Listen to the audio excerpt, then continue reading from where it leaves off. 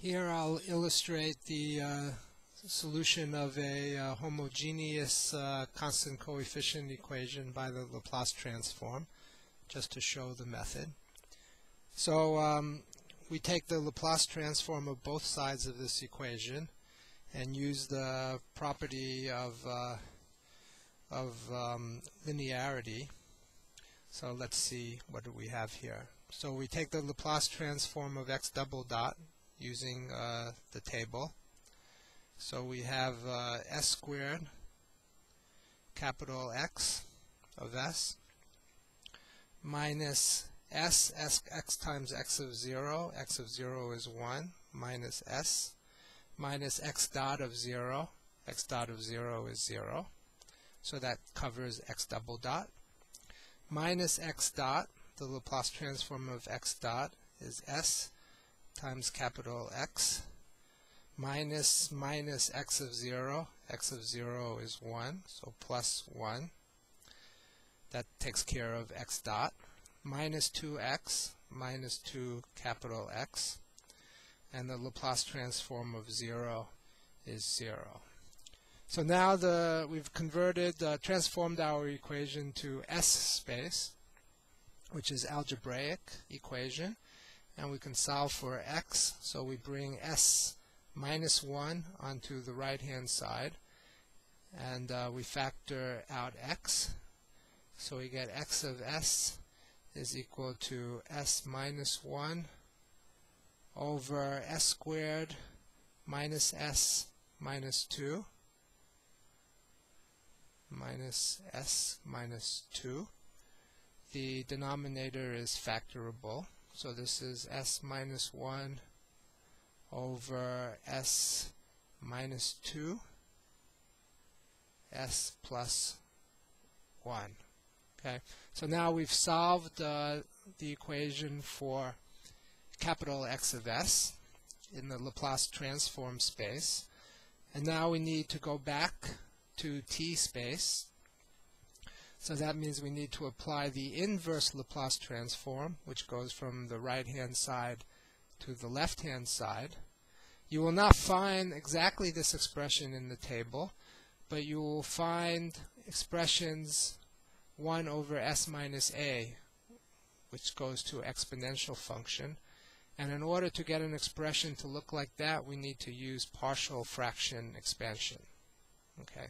So let's try partial fraction expansion.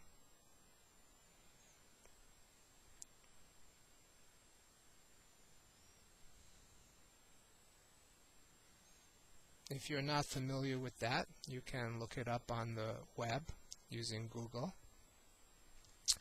So we write s minus 1 over s minus 2 s plus 1 as two, two terms.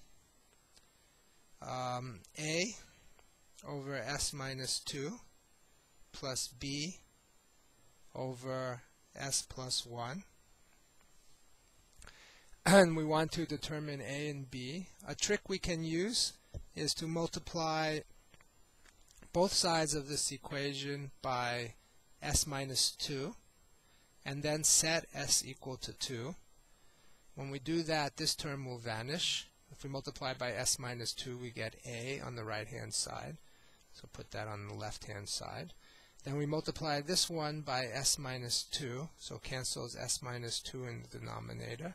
We get s minus 1 over s plus 1, and we've set s equal to 2 in order to force the b term to vanish. Okay, So uh, that's a trick that we can use to isolate A. And when we do that, we get a one-third. Okay. We can do the same trick for B. So to, to isolate B, we would multiply by S plus 1 and set S equal to minus 1 so that we would get B. This term would vanish. We multiply by S plus 1 so we have S minus 1 over S minus 2 and we set s equal to minus 1. So this would be minus 1 minus 1, which is minus 2, over minus 1 minus 2, which is minus 3. So minus 2 over minus 3 is 2 thirds. Okay? Um, and now we're ready to go. So to find x of t, we take the inverse Laplace transform of x of s. So we have uh, x of t equals the inverse Laplace transform of uh, x of s, which is uh, a over s minus 2 plus b over s plus 1, right? So that's a is 1 third over s minus 2 and then we use the linearity of the inverse Laplace transform.